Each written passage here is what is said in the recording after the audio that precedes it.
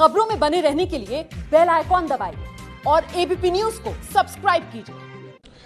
और इस वक्त नमस्ते, भारत में एक बड़ी खबर आपको दे दें। उत्तर प्रदेश के मुख्यमंत्री योगी आदित्यनाथ और संवैधानिक पदों पर बैठे तमाम लोगों पर टिप्पणी करने की वजह से रामपुर की एक रैली में आज़म खान ने टिप्पणी की थी टांडा में। उन पर केस दर्ज हो गया है। यूपी में समाजवादी पार्टी के नेता आज़म खान पर केस दर्ज हुआ है। सीएम और संवैधानिक पद पर बैठे लोगों पर विवादित बयान दिया था। रामपुर के टांडा में रैली कर रहे थे। आज़म खान, वहाँ पर उन्होंने ये बयान दिया था।